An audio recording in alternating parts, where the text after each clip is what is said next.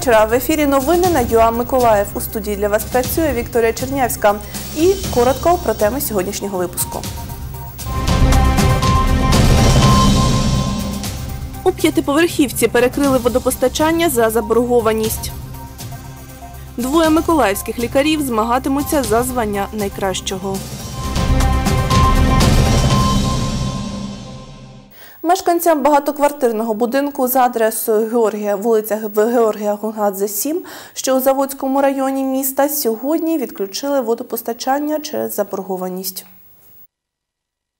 и переходной полтинник до счетчика. Две пломбы? Одна. Одна на два клапана. Попередження про відключення водопостачання в багатоквартирному будинку за адресою Георгія Гонгадзе під підпис голови ОСББ вручили 4 жовтня 2019 року. На під'їздах розклеїли оголошення. 5 листопада о 10 ранку опломбували вентилі. Олена Пасхалова мешкає в першому під'їзді. Каже, в квартирі 4 людини. В місяць використовують до 10 кубів. Говорить, за квартирою заборгованість 300 гривень, які планує сплатити. Ну, конечно, оно не спасет 300 гривен. Если Ну, звичайно, воно не врятує ситуацію, адже в нас такі борги, кого воно врятує. Зробили деякі запаси води, але небагато. Думаємо, що це ненадовго. Пенсіонерка Марія Ткаченко заборгованості немає. Запасів жінка не зробила, на оголошення не звернула увагу. Має слабий зір. Как это можно у если Ну як це так можна робити? Я дисципліновано сплачую за воду, і мене без неї лишили. Якщо вважають, що так потрібно, то хай відключають. Станом на 1 січня 2019 року заборгованість складала 67 тисяч. У нас є судове рішення, яким зобов'язане е, представництво ОСББ сплатити цей борг. Згідно розрахунків, які надані нашим підприємствам, е, сума нарахування та сума сплати вони нерівномірні. Тобто будинок не доплачує за послуги, і через цю недоплату зараз станом на сьогодні ми маємо заборгованість будинку 110 тисяч. Про те, звідки з'явився борг, розповів голова ОСББ Паризька комуна Василь Малишев. Причин, каже, декілька, в тому числі ігнорування сплати комунальних послуг власниками шістьох квартир, приблизно 30 тисяч гривень. Учитывая, що зимовий счетчик завжди проходив. Враховуючи, що міжбудинковий лічильник завжди проходив повірку, і в нього покази завжди нульові, на мій погляд, квартирні лічильники мають неточність відставання до 20-30%. Я так точно не знаю, треба перевіряти. Але мені здається, це основна причина. Второй вопрос. Когда происходит испытание Друге питання: коли відбувається випробування гідравлічної системи опалення? Ми заживлюємо водою. Це відбувається щороку. Враховуючи, що об'єм води поповнює систему, але ніхто це не враховував. Тобто це не враховані втрати. Тобто немає даних з лічильника. Ці всі фактори і створили такі умови. На відключення витратили 15 хвилин, говорить інженер відділу обслуговування юридичних осіб Валерій Стружевський. Відновити водопостачання самостійно мешканці не зможуть. Доступ до даного приміщення знаходиться тільки у е, голови правління цього будинку. Якщо сам голова правління віддасть їм ключі, то вони зможуть зірвати пломбу. Це буде е, порушення, яке буде е, для голови, да, для голови правління буде каратися штрафом.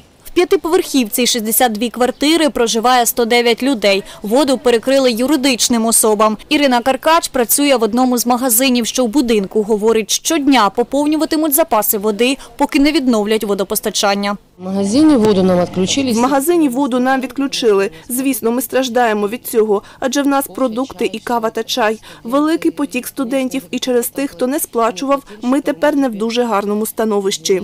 Окрім власних потреб, нам треба ще й вода, аби мити холодильники, приміщення, підлогу, прилавки. Це все санітарні норми. Ми затиснуті повністю. Збори мешканців будинку проводитимуть 9 листопада. Відновлять водопостачання лише після сплати заборгованості. Ми готові піти на зустріч і говорити з представниками ОСББ. Ми розуміємо, що відключення води це є певна незручність для мешканців е, цього будинку, але необхідно сплатити ту заборгованість і судове рішення, яке є зараз. За вересень місяць е, не було сплачено жодної копійки за послуги користування водою. Тому ми очікуємо і представників ОСББ до нас на зустріч і будемо вирішувати цю проблему, як підключати заново водопостачання. Діяли співробітники комунального підприємства «Миколаївводоканал» в рамках закону про житлово-комунальні послуги, говорить юристка Ольга Савицька. Каже, як діяти абонентам, аби не стати заручником схожої ситуації. На підставі статті 8 вказаного закону вони мають право припиняти або обмежувати постачання послуги, е, надання послуги, якщо існує заборгованість за вказану послугу. Е, Єдине, що на підставі статті 26 вони повинні були за 30 днів попередити споживачів про те, що послуга послугу буде припинено або обмежено її постачання. І е, в даному випадку, якщо вони дотрималися цієї вимоги, то їх дії повністю законні. Абонентам е, потрібно уйти від е, одного договору між ОСББ водоканалом і укласти персоніфіковані договори з кожними власниками або користувачами кожної окремої квартири. Тоді відповідальність буде індивідуальна, а не колективна, як в даному випадку при договору з ОСББ. Катерина Максименко, Юлія Філімон, Сергій Куропятник. Новини на Суспільному. Миколаїв. Ми отримали відповідь від інформаці... на інформаційний запит від головного управління національної поліції у Миколаївській області щодо дій колекторів відносно жительки села Лимани Наталії Панашій. Причиною приїзду співробітників поліції до жінки без виклику стала інформація у засобах масової інформації.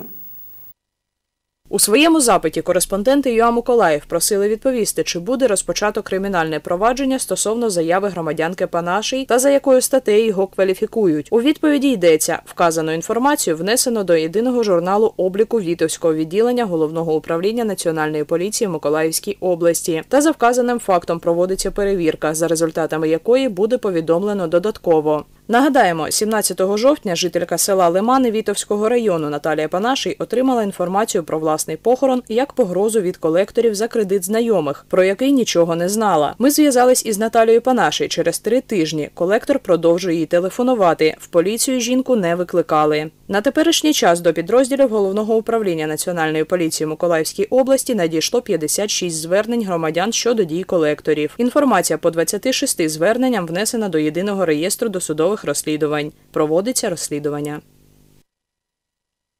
Мінімальні пенсія та зарплата наступного року можуть збільшитися. Це заплановано в проєкті бюджету, який Кабмін подав Верховній Раді на друге читання, розказав сьогодні прем'єр-міністр України Олексій Гончарук. Мінімальну платню планують підвищити на 500 гривень до 4723 гривень. Мінімальна пенсія згідно з проєктом бюджету становитиме 1672 гривні. Середній курс долара в самому кошторисі не закладено, але в макропрогнозі уряду це 28 гривень за долар. Грошей на субсидії всім, хто її потребує, теж має вистачити, сказав прем'єр. Протягом останніх тижнів було багато інформації про те, що ніби в наступному році не передбачаються гроші на пенсії, будуть зменшені субсидії і так далі. Тому подібне. це неправда. Наша задача по субсидіях полягає в тому, щоб малозабезпечена сім'я, домогосподарство е, в середньому не витрачали на комунальні послуги більш ніж 15% від свого сукупного доходу. Щодо інших видатків, за словами прем'єра, на освіту планують витратити більш як 145 мільярдів гривень, що майже на 23 мільярди більше ніж 2019 року. Видатки на національну безпеку та оборону становитимуть понад 245 мільярдів гривень. Це майже на 40 мільярдів більше ніж цього року. Загальні видатки на охорону здоров'я 113 мільярдів гривень, на соціальні виплати більш як 293 мільярди, а на ремонт та будівництво доріг планують надати більш як 73 мільярди гривень.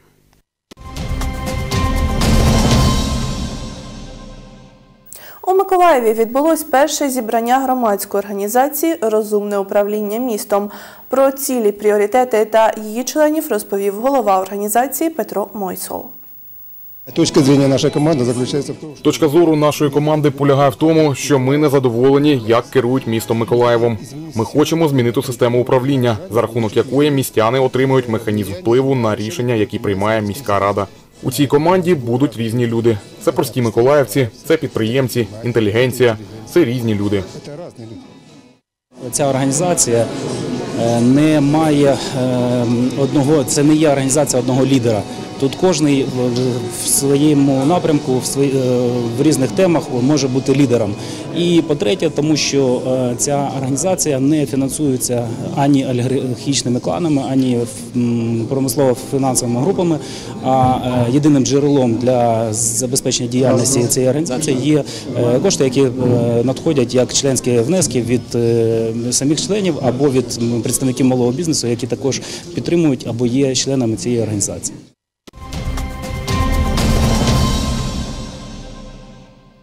За звання найкращого медика України 2019 року за версією сайту Лікар.Інфо змагатимуться двоє миколаївських лікарів. У категорії організатор Миколаїв представляє головна лікарка Центру первинної медико-санітарної допомоги номер 7 Олена Власова.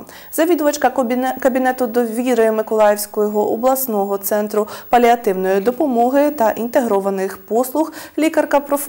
е, інфекціоністка Лариса Коломієць боротиметься за звання найкращого медика-новатора. Це лікарі, які дійсно займають у нас лідуючі положення по своїм організаторським здібностям, і вони продвигають сьогодні наші е, заклади, які стали в нас всі комунальними некомерційними підприємствами на шляху реформи і на шляху успішного їх розвитку. Я вважаю, що сьогодні наші лікарі е, на фоні того, що відбувається, дуже багато процесів іде. Е, Це відображається і на наших сім'ях, дітях. І якщо можна якось лікаря в цьому всьому ну, підняти на якийсь вищий рівень, престижність, то ми тільки за це. Переможця обиратимуть шляхом відкритого голосування на сайті. Голоси прийматимуться до 2 грудня 2019 року. Результати оголосять на наступний день 3 грудня. І на цьому я з вами прощаюся. Гарного вам вечора.